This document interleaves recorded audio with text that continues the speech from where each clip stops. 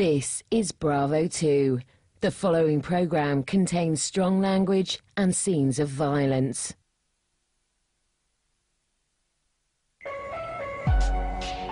I'm in Mexico City, where organized crime has caused more violence than lots of wars. I don't know whether rocket propelled grenades, AK 47s, bazookas. The government has lost control here. This is a city where no one is safe on the streets. It is true, the violence and the crime that's reported. It is true. Where ruthless kidnapping gangs are terrorizing the population. You prepare in a way to be killed. These people don't deserve death. Death would glorify them.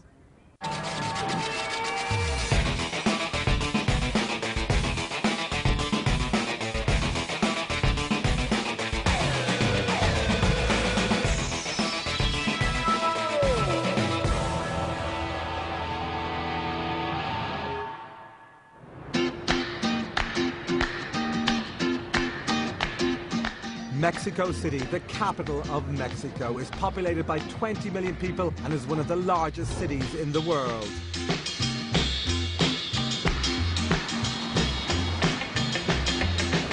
Every year, 12 million tourists from around the globe visit the city of mariachis and margaritas. But look beyond the colour and the cocktails and you discover that Mexico City is an extremely volatile place.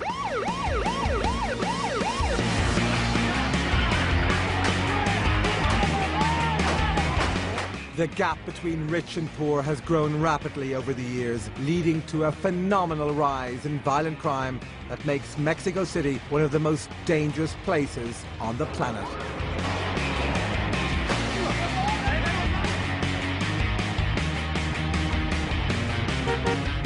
I'm here to find out how a combination of poverty and corruption has led to a crime and murder epidemic in Mexico City that last year claimed the lives of more than five and a half thousand people.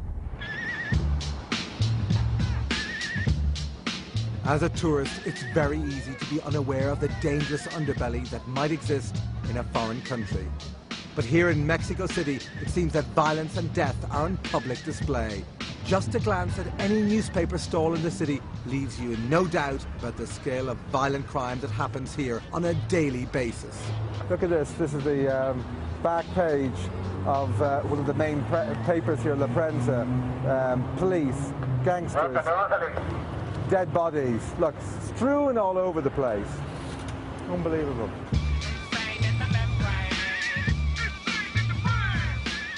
These graphic pictures are fed to the papers by photographers who arrive on the scene immediately after a violent crime. They take gruesome photos which appear on the front pages of the next day's newspapers.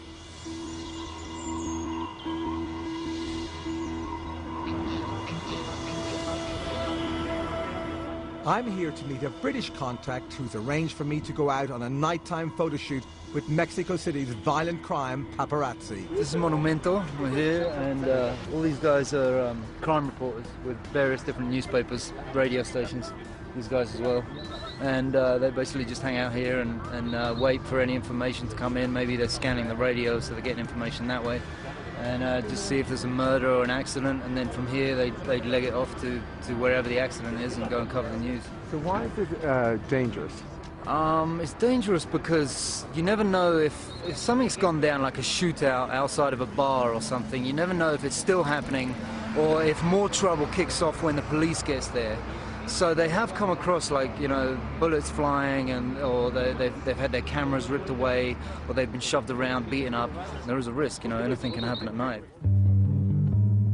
John introduced me to one of the most experienced crime reporters in the city. Why are the images which you uh, take of dead bodies and riddled bodies um, so popular with the public?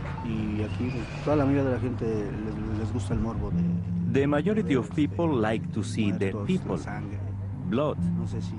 People go straight to the murder section in the papers, see the photographs, and they just stay there. I'm beginning to suspect that violence and death are an accepted part of the culture here. It seems that everywhere you look, there's a police car. Everywhere. Cruising the streets. But as yet, no action from the boys. Some nights they say that they're going backwards, to and fro, 100 miles an hour, all across the city. But for the moment, it's quiet. But it surely can't be quiet for too long. Let's go.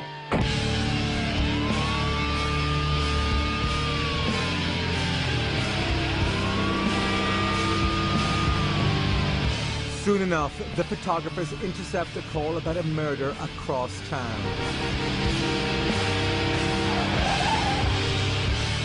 The press team speed through the streets, running red lights and screeching around corners, in a death-defying race to be the first to arrive at the scene of the crime.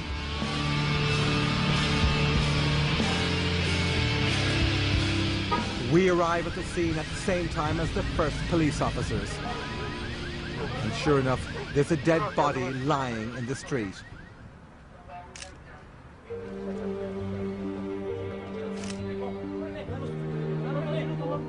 The police make half-hearted attempts to keep the photographers at bay.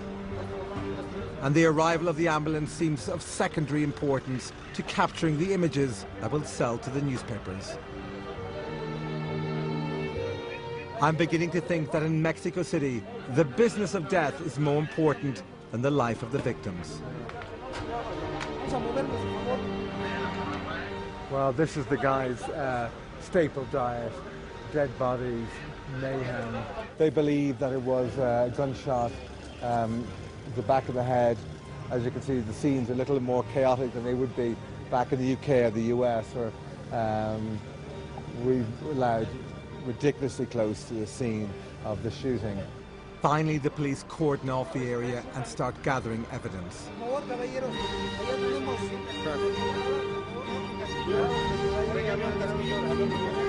We may be stepping on the casing, and that's how uh, quick the reporters, the crime reporters, have got to the scene. We're now being asked to lift up our feet because the bullet casing that um, took that man's life is just here. And that was found by the photographer. It seems that the photographers have got what they need and the scene starts to wind down. This is a very common scene for you, David. This is a normal night. Yes, it is very common here in Mexico City. That's what we see here every day. Um, do you ever worry that you might end up on the front page as a dead body of a in a newspaper yourself? Sometimes it goes through your head, right? Sometimes you think you could be the dead person they take a picture of. It's like the golden rule between us. If one of us gets killed, we won't take a picture of him out of respect for each other. Por respeto al compañero no lo harías.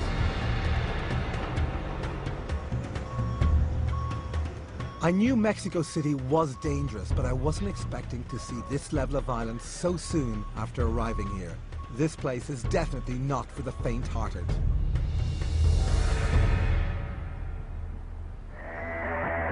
Coming up, I find out that drug gangs have caused record levels of violence on the streets of Mexico City. More than 500 police and soldiers have been murdered this year by drug gangs. And I discover why it's not just Mexicans who are being targeted by criminals. This girl that I know that was taken away was beaten up, just dumped in this remote area.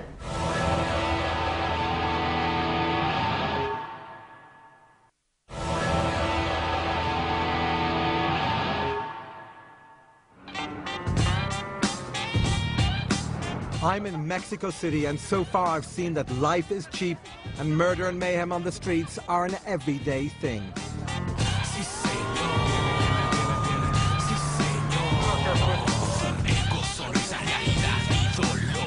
But this is a city of colour and contrast where visitors are made to feel welcome and people know how to throw a party.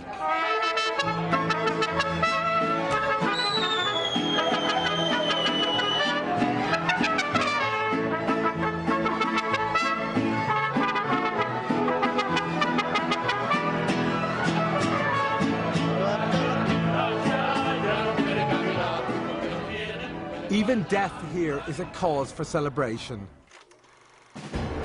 Mexico City is famous for its Day of the Dead festival, held every November on the Catholic holy days of All Saints' Day and All Souls' Day.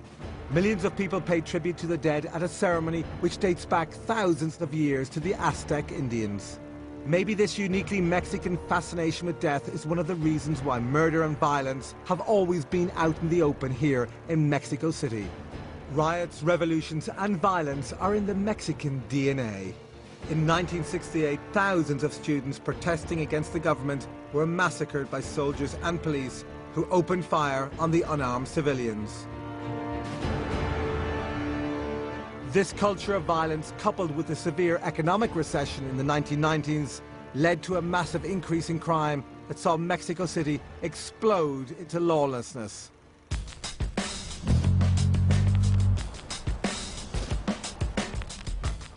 I'm meeting with a crime journalist, Ioan Grillo, to find out more about the situation on the ground.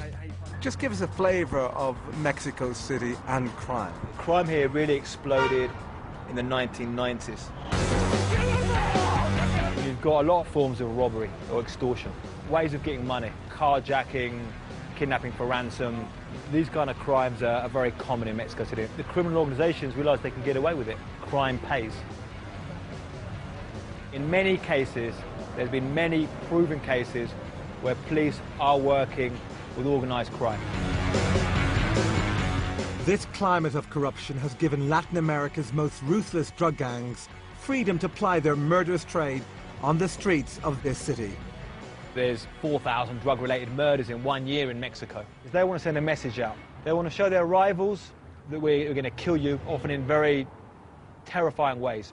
Sometimes they'll kill the people, kill everyone around them as well. Sometimes they'll chop their heads off and put their heads with a note. Sometimes they'll kill them on video and put the video on the internet. Uh, so they kill them in, in, a way to try and terrorize their enemies as well. But they also want to speak to the population, to the people. They want to speak to the street. And they want to tell the street, we're the guys running this show. You don't go to the police to talk about us. You give us information. They want to show they can kill anytime, any place, and get away with it.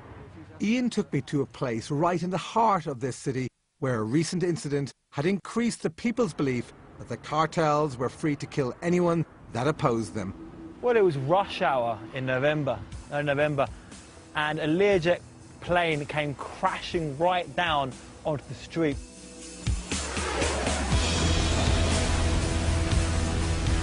Exploded in flames, killed everyone on board and killed several people driving that day uh, and people walking on the street.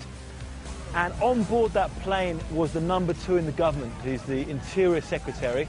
And also on board was a, a federal prosecutor called Jose Luis Santiago Vasconcelos, who was a very dedicated anti-crime fighter. Although the plane crash was officially recorded as an accident, both high-ranking politicians on board were dedicated opponents of the cartels. So, so explain the trajectory of the plane. Obviously, traffic, you know, was immediately thrown all over the place. People were, you know, were burnt up, came down a ball of flames, and then it carried on pushing through here with engines, wings thrown all over the place. So they started throwing stuff to this building here, and you can see from the building here where it's all boarded up now, uh, where parts of the aircraft were thrown onto it. I can't believe that a disaster of this scale could have been engineered by drug cartels, especially when it involved killing high-ranking politicians. Surely the gangsters here aren't powerful enough to take out a vice president. Right now, in the climate Mexico is in, there's been attacks on hundreds of police and soldiers this year. More than 500 police and soldiers across Mexico have been murdered this year by drug gangs. One guy, the head of the federal police, was shot dead by drug gangs in his own house. He went home, opened the door, there was a guy there with a gun, shot him dead in his house. In that kind of climate, something like this happens and everybody immediately thought, you know, this is drug gangs or some kind of killing. That's the first thought that came into most Mexicans' head. Who's running Mexico? You know, it seems in a state of flux, a state of absolute chaos and violence.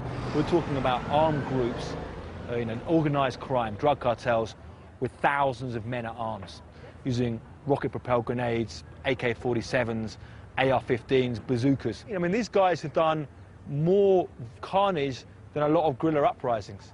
This is more violence than a lot of wars, so you get a real sense of the government has lost control here.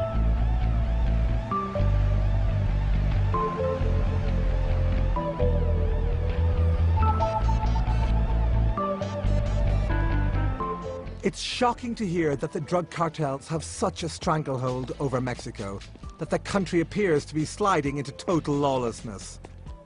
Mexico is the main supply route for cocaine and other drugs entering the US. And so, since the early 90s, America has been involved in helping the Mexican government's war on drugs. Unfortunately, their relative success encouraged the drug cartels to diversify.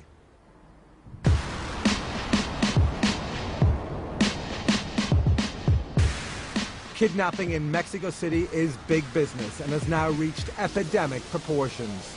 Last year alone, there were 1,028 kidnapping reports in Mexico. That's almost three a day. 65 of those victims were killed.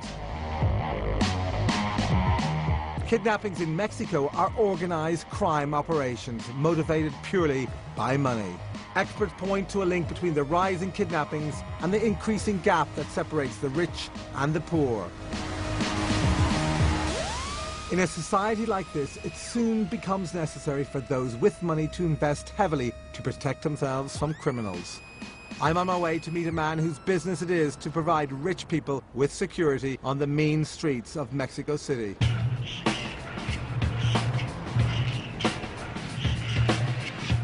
Francisco Marina is the head of an organization called CIOS. Is the Center of Information and Operations for Security. This company is one of the largest private security firms in Mexico City. Unfortunately, kidnapping in this country is a reality. Kidnappings are on the increase.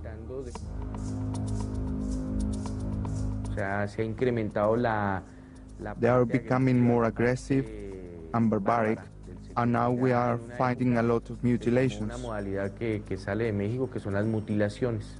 Well-established gangs trained by drug traffickers, whose life is violence and crime, are turning to kidnapping.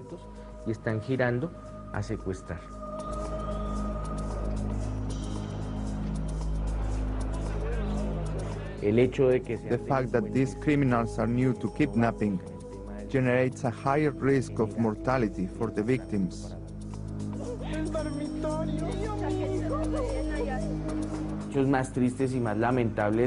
The saddest part is that anti-kidnapping officers are involved in kidnapping themselves. This is no secret. It's all over the media.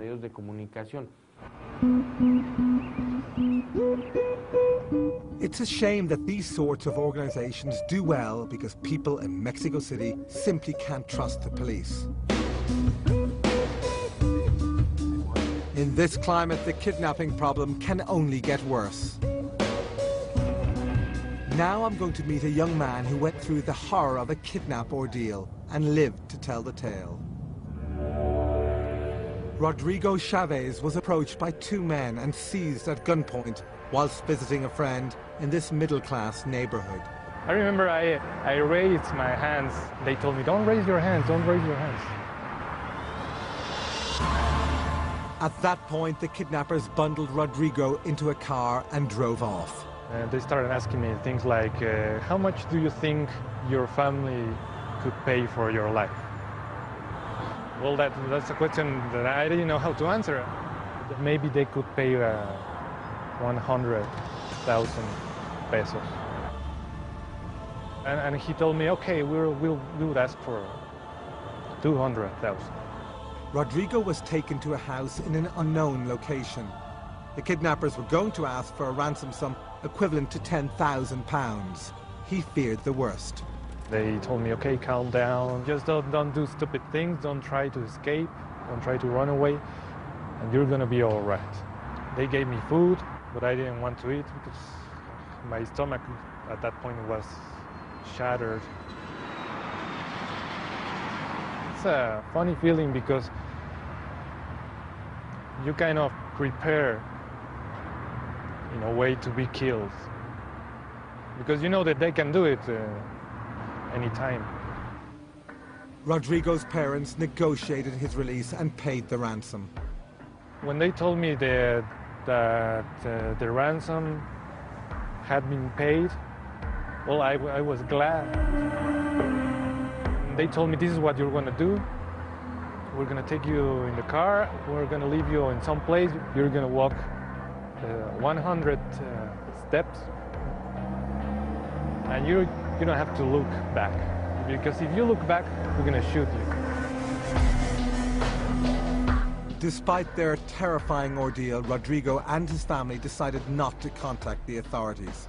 We never wanted to go to police, never, because I was free. You don't know if, the, if it's true that the police is ganged up with these guys. If they are connected in some way. We, we talked about it and we said we're not going to the police because well, you don't know if they're gonna take revenge on us. Coming up, I experienced the long arm of the law Mexican style.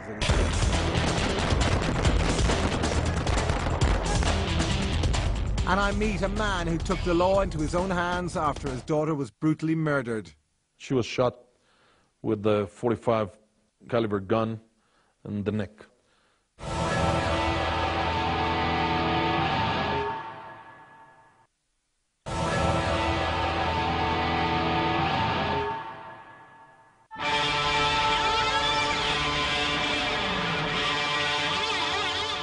I'm in Mexico City, one of the kidnapping capitals of the world, and I'm getting a taste of how organized crime is terrorizing these streets.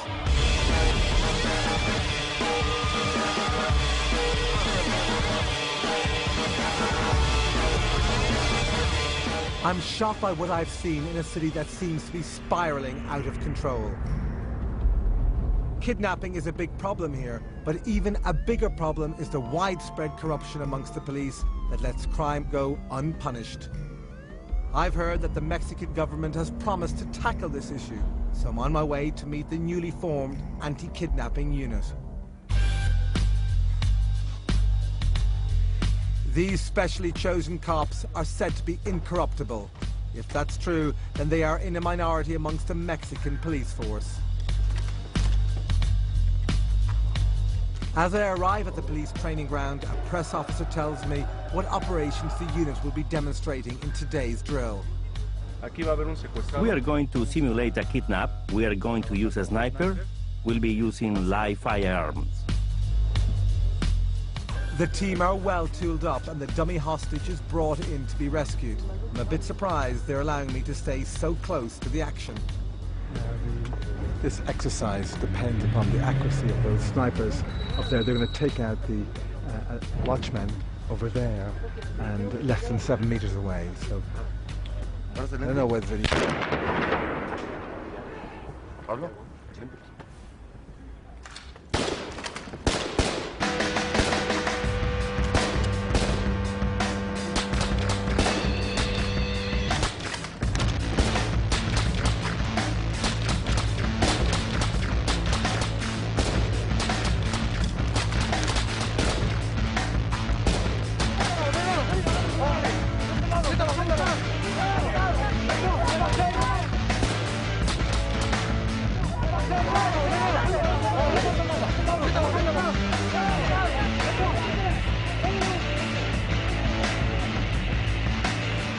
With the kidnappers dealt with and the hostage safe, the simulated rescue is over. That's noisy. One of the officers has agreed to answer some of my questions. How do you protect your unit from infiltration from criminals? We spend most of our lives in the unit. We get to know each other. When we see someone acting strangely, we speak to them, and if necessary, get rid of them. Y en su caso, lo retiramos del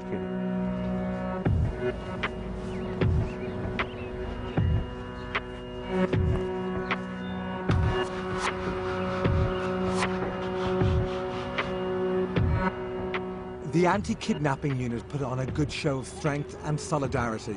but I wonder how much of it was a PR display for me and the Mexican journalists. Are they making any real difference on the streets? To find out, I'm going to talk to some British expats who've been living here for a while. Sarah, a news reporter, and Hannah, a publishing editor, both came to Mexico to pursue their respective careers. What's the perception of those at home? Are they worried for you here when they read stories about uh, Mexico and crime? I know that my parents do worry. Um, I'm sure they would prefer that I was at home in England with them. I think Mexico does have a negative press in the UK. And I mean, it's fair to say that as well, though there is a lot of crime in the city. Yeah, and they worry because they, it is true. Mhm. That's the problem, it is true. The problems that are reported and the violence and the crime that's reported. Like, if you go and look for that, then yeah, you would find yourself in real problems. I wouldn't live here with a family. Mm-hmm, yeah, that's what I was going to say. I wouldn't have a family here for someone of my age for the next couple of years, fine, but not forever. And for the next couple of years, I can enjoy all the exciting aspects and avoid the danger and not have a family here.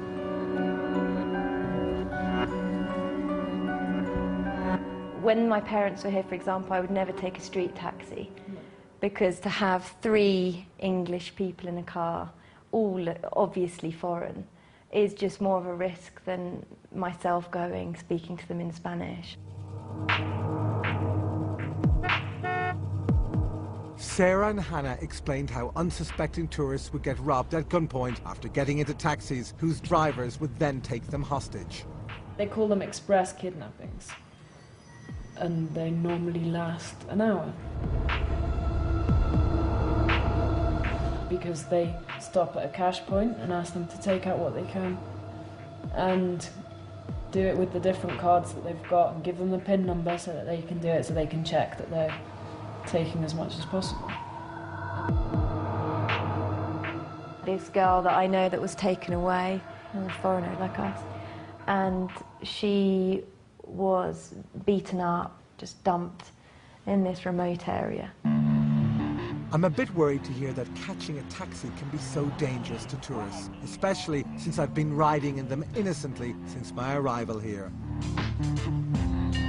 And with the express kidnappings being so common, it's obvious that tourists are just as much a target as locals.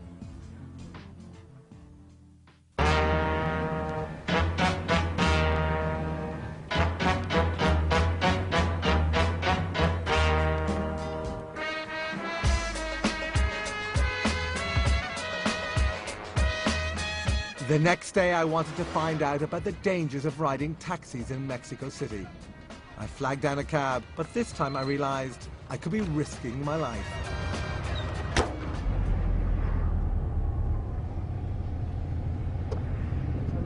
How big a problem is kidnapping in your life and in the life of people you know? I have known people who have carried out serious kidnappings.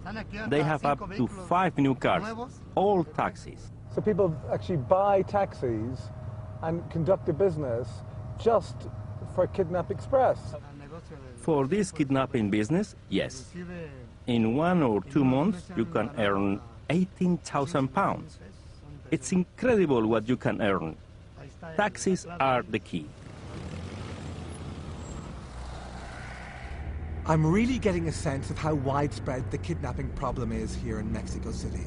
Because I've just pulled over a taxi at random, and the driver is telling me that he knows personally a number of people from his own neighborhood that run kidnapping operations. Are they fearsome people? Are they scary? Are they violent?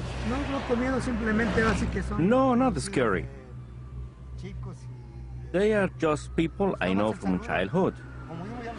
We say hello to each other, but to others, they are a threat. From your experience, um, what percentage of, of kidnappings are ever reported to the police? como, uno, como un 98% más o menos que no se que no se denuncia, o sea, son muy pocos los que van a, a denunciar Approximately 98% of cases don't get reported. Very few people report them. Están corridos con ellos. This is because the authorities are working alongside the kidnappers. Denunciar, porque la misma autoridad te dice, And this made people afraid to go to the police. conoce tu casa, te llega y te They know where you live. tira los cargos o, o tú le tiras, tú le sabes, ¿no? Okay, well, listen, thank you very much.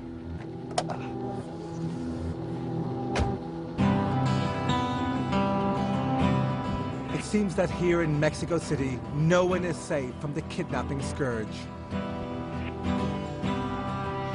I found out that not only are rich people and tourists being kidnapped, but increasingly, poor people are becoming a target too.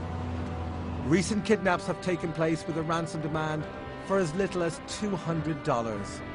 I've heard about a recent case that shocked the city already hardened to crime and violence. The incident involved the kidnapping of a five-year-old boy by a teenage next-door neighbor. Javier Morena was kidnapped and killed in one of the most deprived areas of Mexico City. His family are poor and there seems to be no motive for the kidnapping. The incident has sent shockwaves through the community, but a local woman has agreed to speak. Pues la verdad no, no les importa ya si eres rico si eres pobre. Pero aquí Truth is, it doesn't matter whether you've got money or not. This boy was kidnapped because the kidnapper knew that his parents had just bought a car. So they thought they must have a lot of money. So they took the kid to get the money. robó al niño para pedir The boy's family spent days looking for him. Finally, a witness to the abduction came forward, and from the family's photo, identified both Javier and his teenage abductor. In shock, the five-year-old's relatives realized that his kidnapper was a 17-year-old friend of their family. How did the community feel about that kidnapping? se sentía muy tenso el ambiente, ¿eh? incluso We feel really tense. At any time of the day, they are kidnapping children, and not only children, but adults too, without caring if they have money or not. Gabriella had told me where I might find some of Javier's family. I'm heading over there to see if they'll talk to me. When we arrive at the address, the little boy's aunt is at home and willing to speak to me about his murder. How do you feel towards uh, the person who murdered your nephew? Pues son personas que no merecen el perdón porque ni siquiera la muerte merecen. makes me really angry. These are people that don't even deserve death. Death would be too easy for them. They have destroyed a family psychologically and morally. In all aspects, they have destroyed a family. Even more so that it was a small child who doesn't deserve that kind of death. It is really horrible the way he died. It turned out that Javier's teenage kidnapper had been acting on behalf of a ruthless kidnapping gang. In a bid to make a terrifying name for themselves, the kidnappers murdered Javier by injecting him in the heart with battery acid. Just imagine you are that small and someone is injecting you and you are burning inside and you are only five years old. It is so unjust.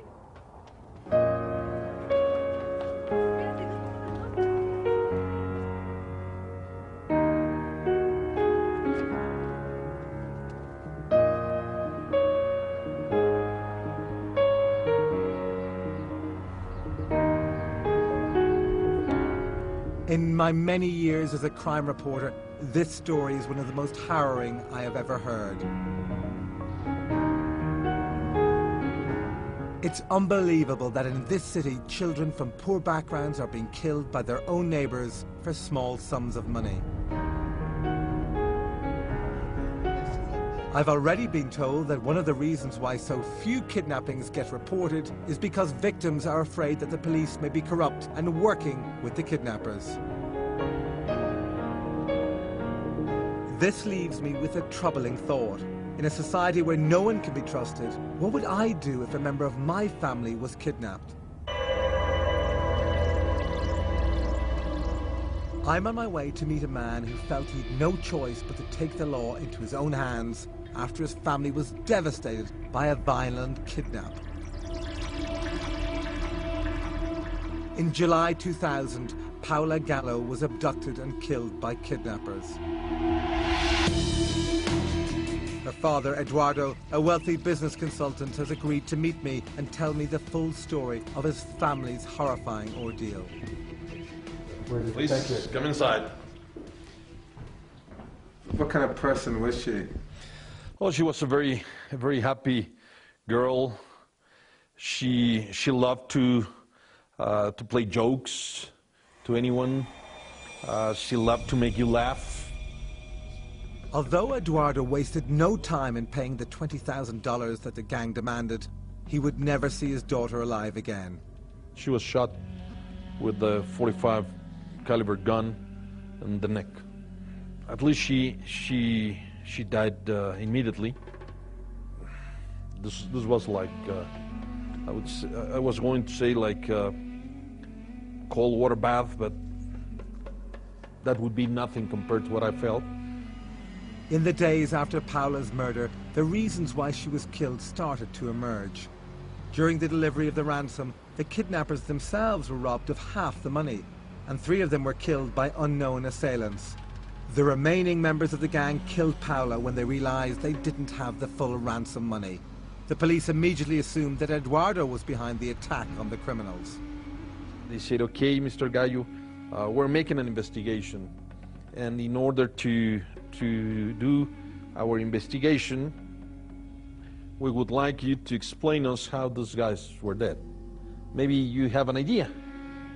Well, I don't have an idea, and if you're meaning by having an idea that I killed him, you, you can all go fuck your mother. I, was really, really angry. I, I lost my head. I started shouting them, yelling them, insulting them, and sending them where they should go. You lost your temper because you, just lost your daughter. Mm-hmm. And they were trying to cement that I murdered the kidnappers, and because of that, they killed my daughter. And I said, well, you're, you're not only stupid, you're corrupt. In that moment is when I realized that they were not going to make an investigation. Knowing that a number of the gang were still on the loose, Eduardo began to track down his daughter's killers. I started collecting uh, information like photographs, like uh, uh, information about their families, their sons, their wives, their brothers, their, fa their fathers, their cousins, where they lived, a lot of information. Uh, so I knew what I was, what I was looking, whom I was looking for, and uh, then I understood that they were four missing, and I said, okay, well, let's, let's find them. Through his own investigations, Eduardo was able to find three of his daughter's kidnappers and have them immediately arrested by the police. Then I continued looking for another one who was uh, the one who, who shot Paola. I found him in, uh, in Estado de Mexico. I had only two bodyguards, so did the, the job that was supposedly to be done by the authorities. We delivered this guy. Even though the kidnappers were all arrested, corruption in Mexico means Eduardo has to regularly check to ensure they haven't bribed their way out of prison.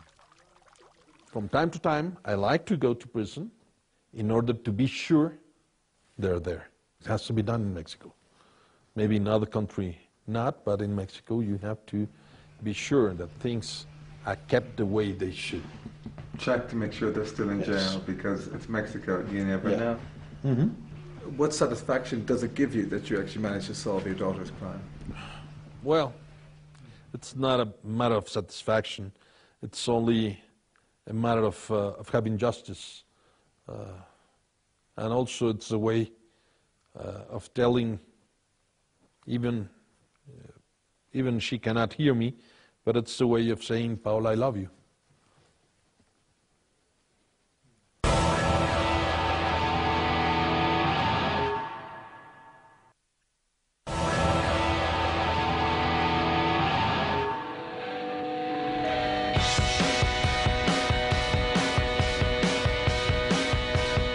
I'm in Mexico City, and I've discovered that in this huge metropolis, life is cheap and death is a celebrated part of the culture.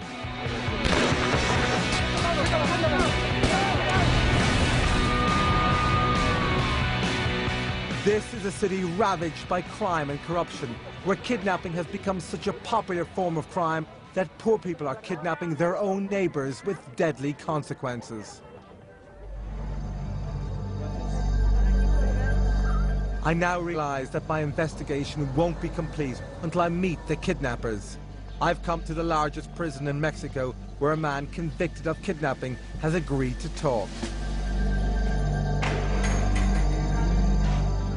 Filiberto Vargas is now serving 60 years for allowing his home to be used by the gang to hold the victim hostage. 11,500 prisoners are in here, including Filiberto, the kidnapper. Part of a gang who kidnapped and raped a young woman. And he's here and he's going to tell us his side of the story. I'm being led out to a yard where Filiberto is waiting to meet. Me.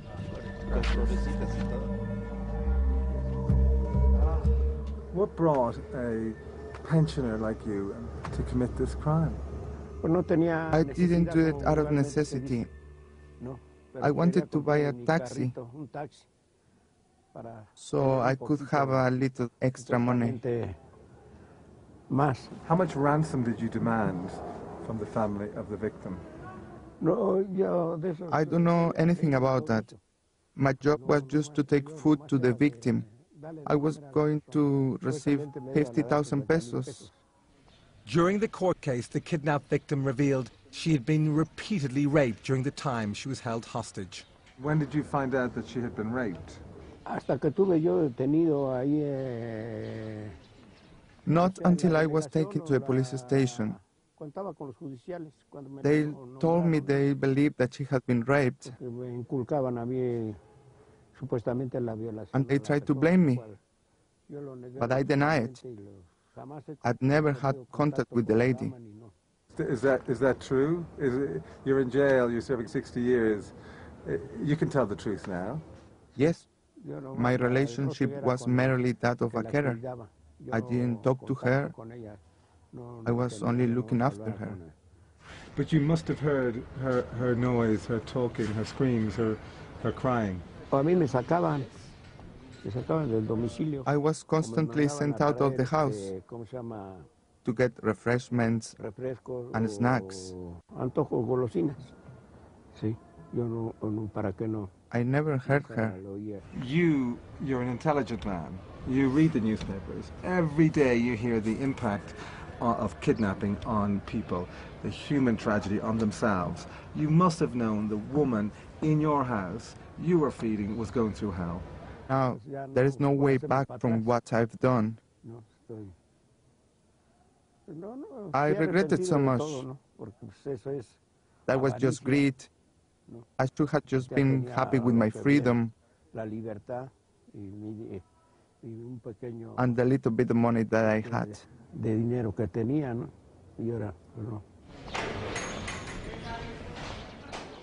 Although I don't believe Filiberto when he says he knew nothing about the rape, I do believe him when he says he wasn't the leader.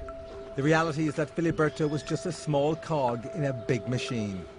The big bosses of the kidnapped gang that he was involved with are still on the loose, simply because they have the money and connections to pay the authorities not to convict them.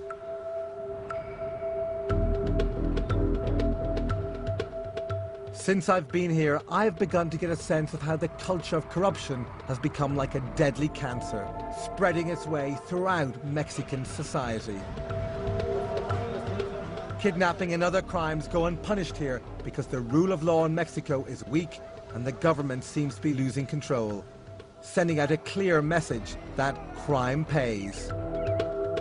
As long as Mexico remains a largely poor country, where rich and powerful criminals can operate with impunity, then the kidnappings will increase and organized crime will continue to hold a deadly grip over the capital, making Mexico City one of the world's toughest towns.